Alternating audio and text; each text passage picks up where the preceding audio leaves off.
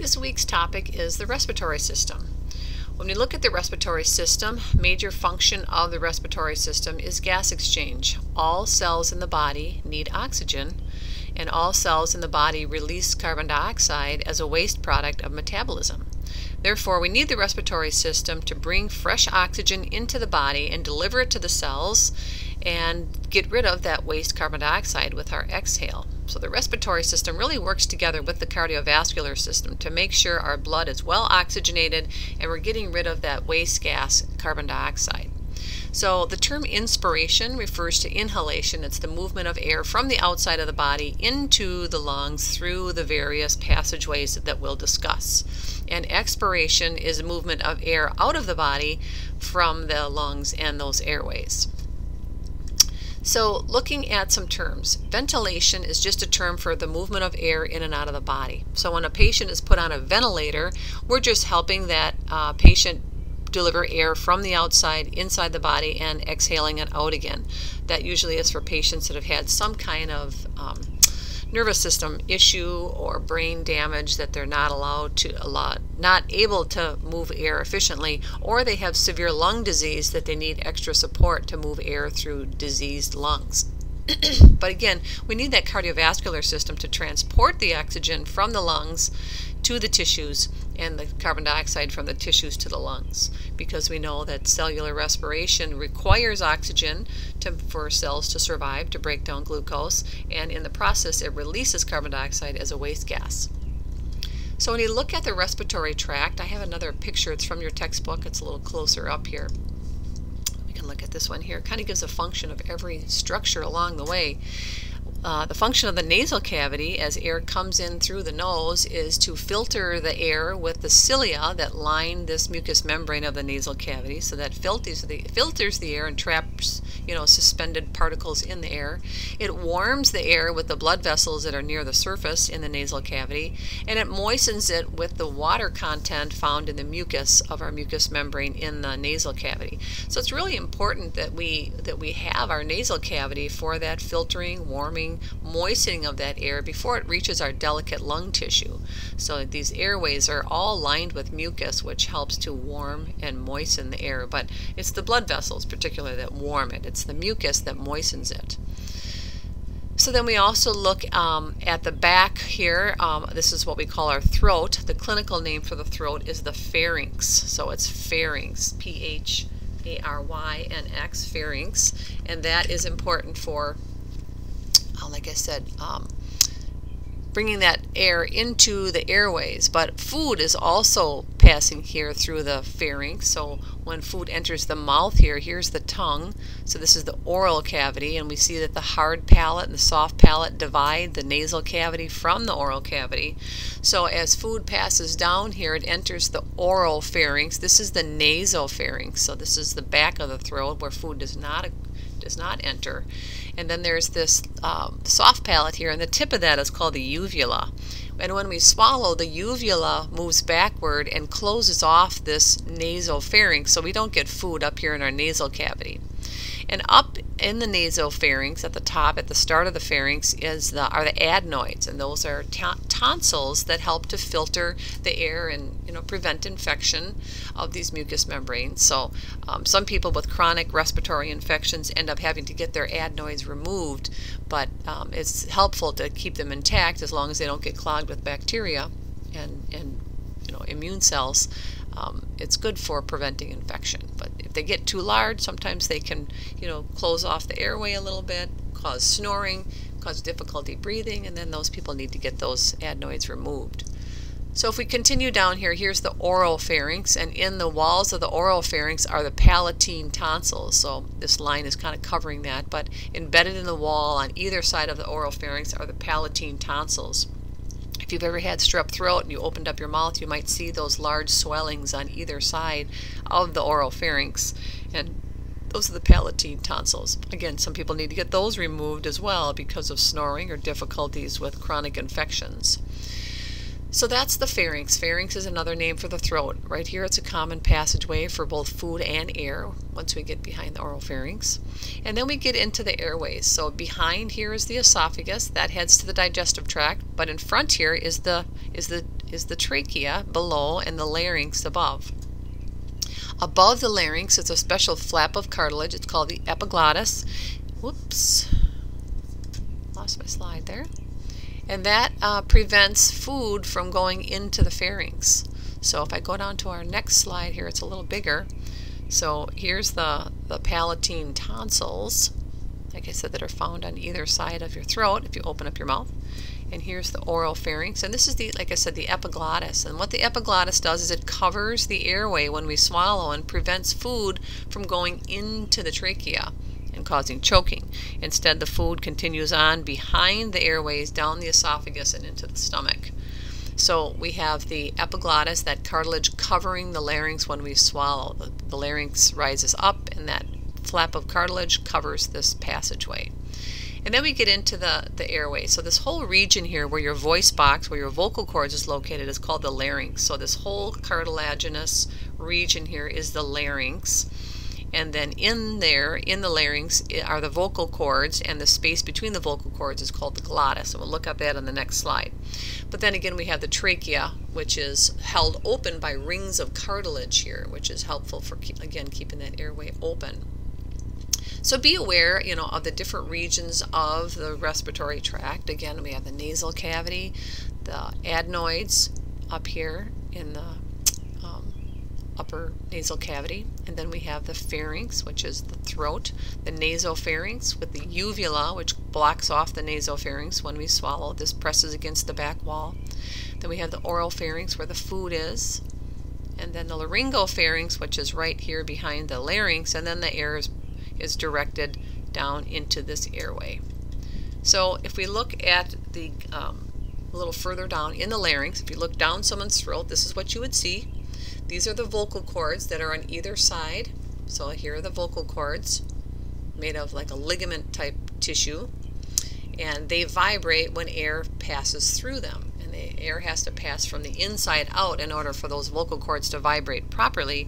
And the space between the vocal cords is called the glottis. So the glottis is, is a space. It's not a specific structure. It's just the space between the vocal cords. And we know when we make our vocal cords very tight and we make that glottis very narrow, we get high-pitched sounds. And when we open up the glottis and make the space between these vocal cords very large, then that makes for a very low sound. So men have a larger larynx and a larger glottis compared to women, so therefore men typically have lower voices. Um, some people can get inflammation of the vocal cords and have what we call tonsillitis, or not tonsillitis, sorry, um, laryngitis, because the vocal cords are located in the larynx. Um, it's an inflammation of the vocal cords and that's called laryngitis. So people with laryngitis have to drink lots of fluids and rest their voice. Whispering is the worst thing for laryngitis because whispering causes the vocal cords to work and stretch a little tighter, and that is harder on the vocal cords when they need to heal. So the epiglottis is again is that flap of cartilage that would close the larynx, close off the vocal cords and the passageway to the airways. This is just a little piece of it shown here. So going back up here, so this is the larynx. Like I said, the glottis is the space between the vocal cords, and then you have your vocal cords on either side. So if we look at the, the tissue that makes up the um, airways, we see it's a special type of tissue. It's called pseudostratified ciliated columnar epithelium. So it's quite a mouthful but we can see that there's all of these cells these they look like uh, they're stratified like they're piled on top of each other. So they have kind of an odd appearance. That's why they're called pseudo stratified and then they have the cilia on the surface. And the cilia um, helps to move the mucus upward toward the digestive tract so it can be swallowed so that mucus with the debris doesn't um, end up in the airways. So here's just a particle that might be suspended in the air that we breathe. As it gets caught on the mucous membrane of our airways, the cilia again will beat it up toward the digestive tract. So if you look back at this picture here, we have cilia in the lining the nose. The cilia are going to beat that mucus backwards toward the back of the nasopharynx and we're going to swallow it down to the esophagus. However, the cilia and the trachea, those are going to beat the mucus upward toward the larynx, and every now and then you feel the your urge to clear your throat, which is going to move that mucus up again into the pharynx, and it'll be swallowed down. So the, the cilia in the airways beat upward, and the cilia in the nasal cavity beats backward, all directing that that mucus with those trapped particles into the pharynx and down into the esophagus, where mucus is helpful in moving food through our digestive tract. But it's not helpful to have a lot of mucus and trapped particles in our airways because if that settles into the lungs, that can interfere with gas exchange. So we have special cells that are kind of interspersed among these pseudostratified ciliated columnar epithelial cells, and these are called goblet cells. So goblet cells, their job is to secrete mucus, just secreting it to the surface so that it creates that, that viscous or that kind of slippery surface um, of the of the respiratory tract. And we don't want this to be too viscous because viscous refers to the resistance to flow. So thick, sticky mucus is not good for clearing our airways effectively, but a nice, slippery, thin mucus is ideal. So when people are sick, sometimes that mucus production gets a little heavier. It's important that they drink fluids to thin that mucus out and allow that cilia to direct that mucus again toward the digestive tract. So we'll go back to our, our PowerPoint notes here. So moving on down the down the, the tract then, um, well let's start with, let's divide these uh, structures. So first of all, the upper respiratory tract then is the nasal cavity, the pharynx, and the larynx. And the nasal cavity opens at the nostrils, which are called the nares, and that leads to the nasal cavity. And we know that the nasal cavity, there's you know there's two nostrils which are divided by a septum, and that's the the space between your nostrils that that cartilage and bone there. And then the, the cilia is what will filter and trap air particles in that region. So this is the upper respiratory tract. So air comes in, comes down into the larynx, and once it passes the larynx, then we get into the lower respiratory tract. So we know that we already talked about that it's lined with mucous membranes to trap particles. And that mucus layer also has lots of capillaries near the surface that will warm the air. So warming the air is important, again, for protecting those delicate lungs when the air gets down there. And some people, you know, tend to get nosebleeds pretty easily. If they have a lot of capillaries near the surface and that are somewhat fragile, some people tend uh, to have more nosebleeds than others, especially if the air in the nose is dry because of winter weather and, and dry air in the house. So um, we also have sensory receptors in the nasal cavity for detecting odors. And we also have a duct that goes from the eye into the nasal cavity. So when you cry or your eyes water, that, that fluid comes from the eye right down into the nasal cavity and out the nose. So that's why when if you cry or have watery eyes, you end up having um, running out the nose as well. And then above the, the nasal cavity, there's some spaces in the skull which we call the sinuses. So that's up here. So these are just uh, open areas inside the bones of the skull that help to allow for good resonation of your speech when you're talking and uh, lightens the weight of the skull. So sometimes these get full of, of mucus and bacteria and cause a sinus infection. If you've ever had a sinus infection, you know how uncomfortable that can be. And that is just clogged mucus and fluid that fills up these bony spaces in the skull. And there's uh, one over the forehead, and there's two, um, a couple on either side of the nose. And those can, when they get full of fluid, they can cause headache. They can cause your teeth to hurt, um, the upper teeth, based on the location, and uh, the bony portion on either side of your nose based on those locations of those sinuses. So people at risk for sinus infections are people with chronic allergies and smokers because they lose functional cilia due to chronic exposure to cigarette smoke. So moving on then, we talked about the nasopharynx.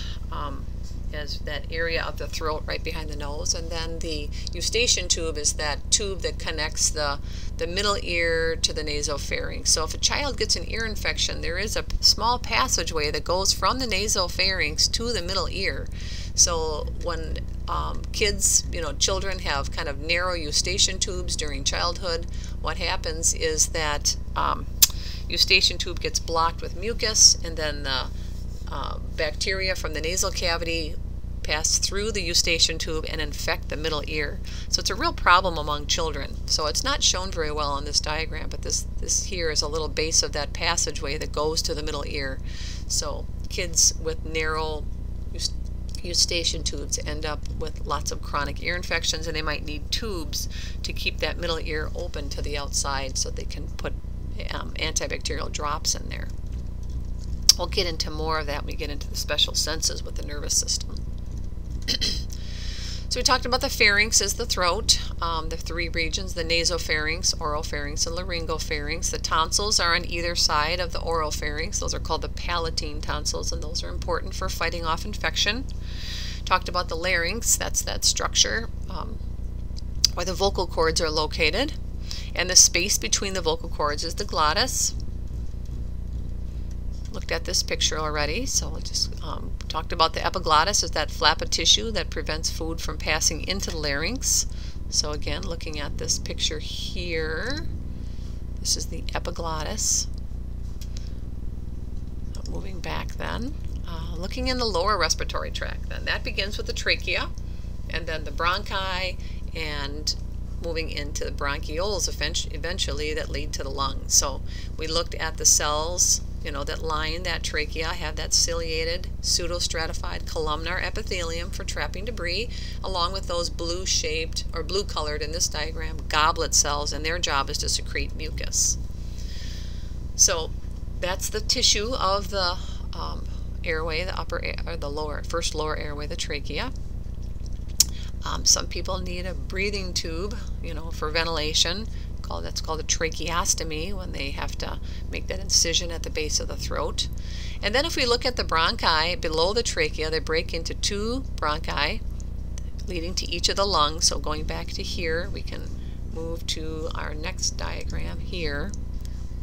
Actually, we'll move up here. So we have the, the trachea, and then the bronchi are these two large passageways.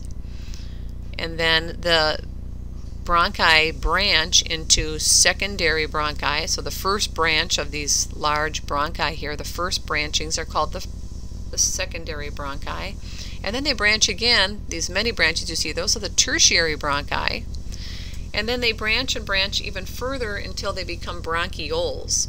And bronchioles are the smallest of airways that lead to the lungs. And they don't have any cartilage to keep them open. So uh, the trachea has C-shaped cartilage, so it's covered in cartilage on the front side, but not on the back side because of the esophagus is behind there, and we need that to be open for food to pass down between breathing or between breaths.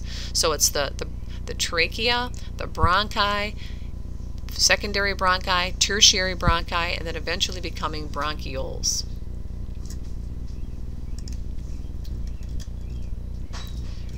So the bronchioles, because they don't have any cartilage lining and only smooth muscle, they eventually um, can be prone to you know, constriction, contraction, causing smaller airways, and that's what is the problem with asthma, is the smooth muscle of those bronchioles contract and constrict it and cause lots of difficulty with breathing, and it's a real problem with people that suffer from that chronic condition. So then eventually that bronchiole will lead to the alveoli. So if we look at this nice picture here, this is a bronchiole. This is the last airway before we lead into the air sacs of the lungs. So the alveoli are these small structures that make up the lung tissue. So the lungs are essentially millions of alveoli in clusters that are surrounded by blood vessels where the gas exchange occurs. So here's the bronchiole that again opens up into these alveoli. So the bronchiole has smooth muscle only holding it open. So if the smooth muscle is relaxed, these airways are nice and open and breathing is very you know easy and smooth. But if the if the airways constrict, the, the smooth muscle constricts, that's going to cause difficulty in movement of air in, into and out of the alveoli. So we'll stop at this point and we'll pick up in um, our lecture video number two.